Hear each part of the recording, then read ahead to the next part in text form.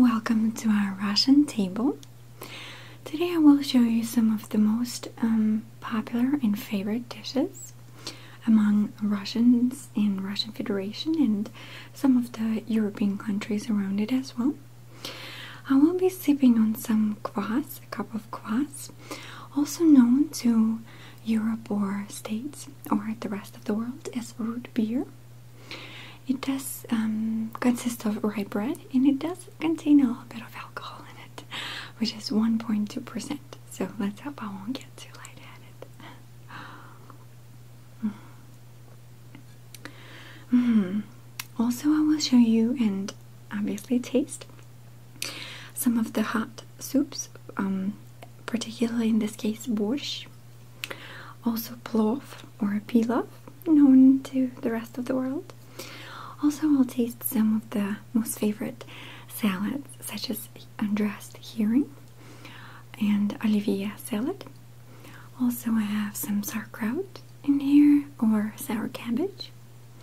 And we'll taste and take a look at some of the sweets, some of the most favorite sweets, which is Tula gingerbread and zephyr. So stay tuned and uh, let's start. The first dish that we're going to try is called borscht. And uh, this is a soup of Ukrainian origins, and it's very popular in Russia as well as um, Eastern and Central Europe. It's made with beetroot, um, and that's what's giving it its deep reddish purple color. It is usually served with sour cream.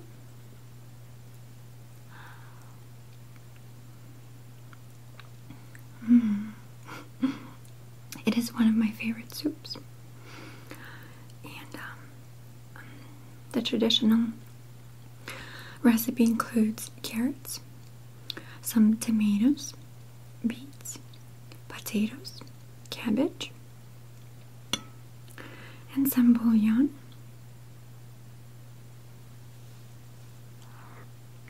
Mm.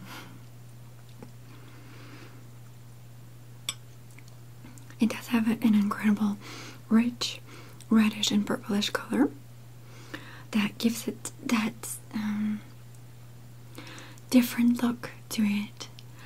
Um, the smell is also very, very rich. Um, many people sometimes add garlic into it, into this dish as well. That adds an extra kick to it and makes it extra Russian, I would say. now, okay. So here, uh, here we have a dish that is very popular all over the world. It has been found in the 10th century in Central Asia. However, um, the consistency and the ingredients truly depend on the location and the local um, cuisine, local preferences. I did make this dish myself. Well, I did make all of the dishes here. However, this one did not turn out that well. I apologize for that. My rice kind of fell apart. So I have a piece of pork here, a piece of carrot. Um, I did add some garlic to it as well, so it really has a lot of aroma. And of course, I have added all the proper spices for the dish. And now let's uh, try it.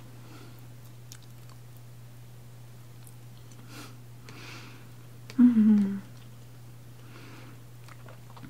I really, really like the spices for. It always makes it taste just so specific. Mm. And of course, many many nations have adopted this dish, and now they make it their own. Mm. It is very popular uh, to be made with fish, with pork, chicken, beef, veal, basically anything you can imagine. And um, different nations obviously add different flavorings to them. So now let's uh, move on to the cold salads. Okay.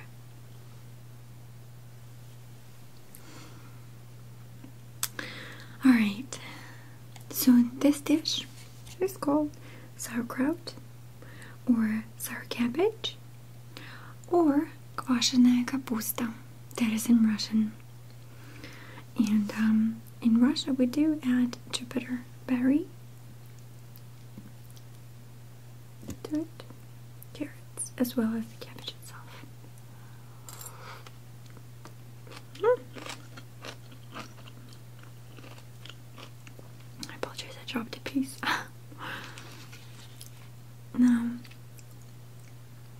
Dish is um, basically started off from um, also sour cabbage. It has been created in kimchi, as kimchi in China. And um,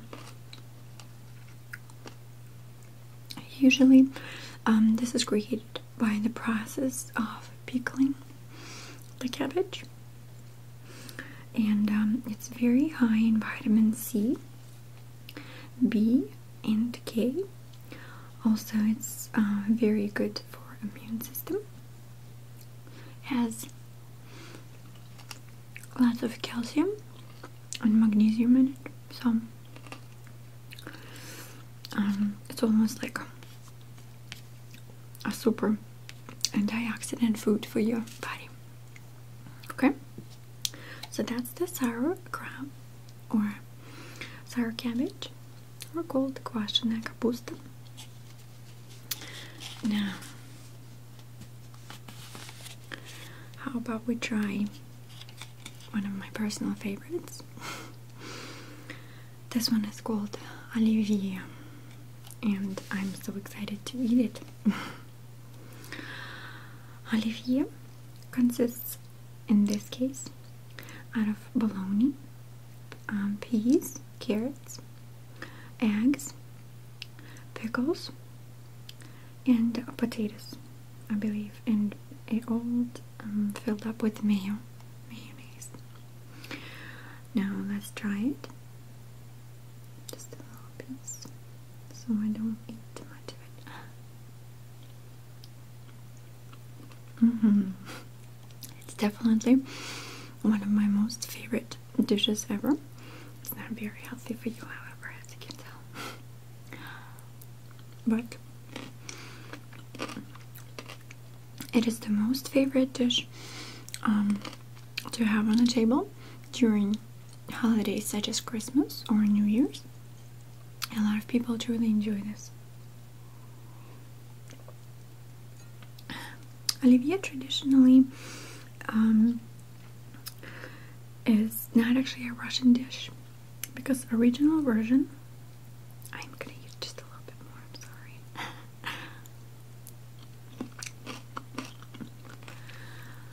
The original version of this recipe was invented by a Belgian chef whose name is Lucien Olivier. And um, it has been created in 1860, but in early 20th century,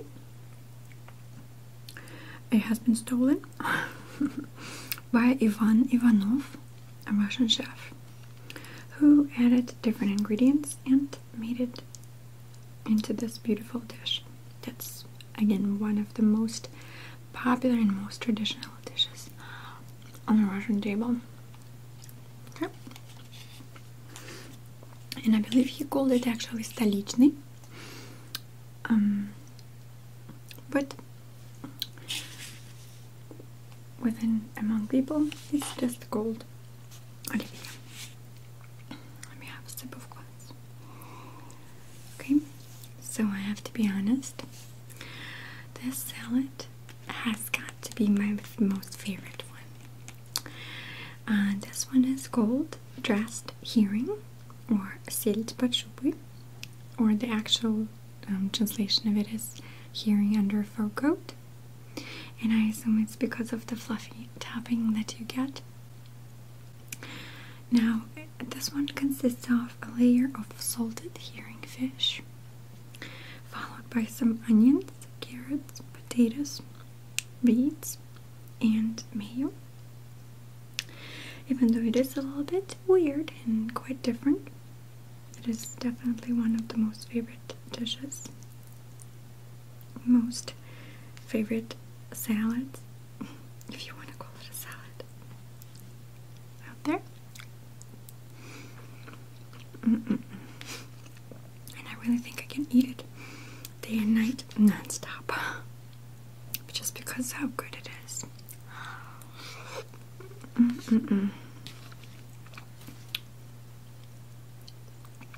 And again, even though it has fish in it, like pickled salted fish, and it might turn off a lot of people, but it's amazing tasting. Mm-hmm. Now, let me have a little break and I'll show you some of the sweets. Alright, so now on to the sweets. Of course, um, there are a whole lot of different sweets in Russia and Russian Federation.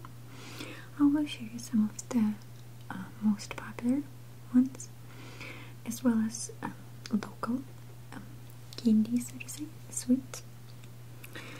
Um, of course, we have wonderful cakes and many, many more varieties of um, um, sweets, so to say. I'll just show you the most favorite and most basic ones. First one is zephyr, and second one of the two is tulski pryanik or Tula gingerbread. Now, zephyr is very similar to um, marshmallow. It has a lot of sugar and egg whites in it as well. Does have less browns, I would say, as you can see it crumbles.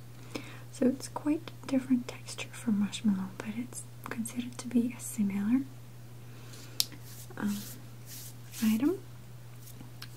So now let's just bite it off and see. And it's called again Zephyr.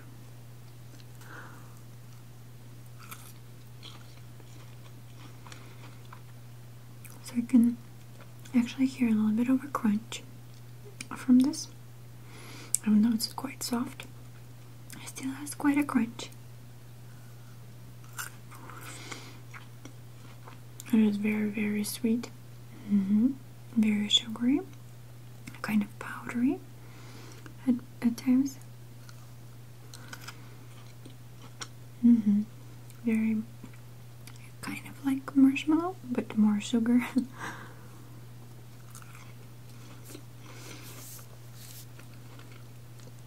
That is one of my favorites.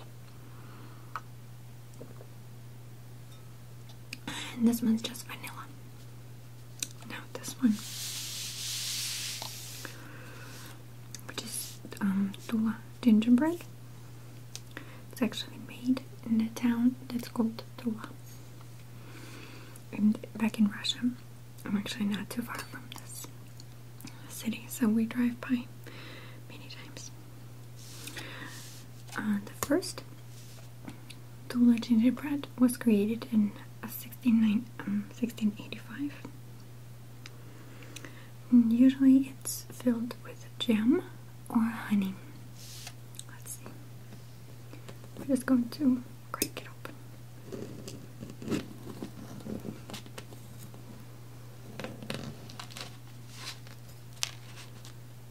So that we can take a look at it from the inside. So again, you can see some of the gem right in the middle of it.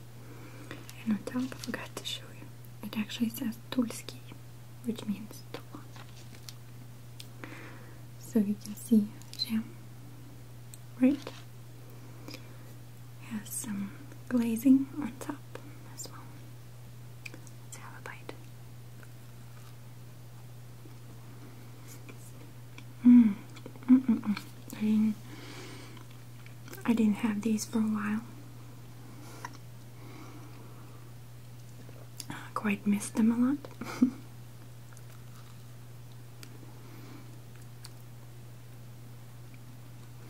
Very nice gem.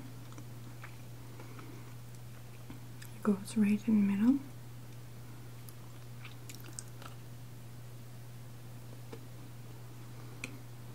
Mm-hmm. Very crumbly. Yet the dough is still quite moist. You can see a little pattern on the bottom. And again, glazing on the top. I think it's decorated perfectly and beautifully.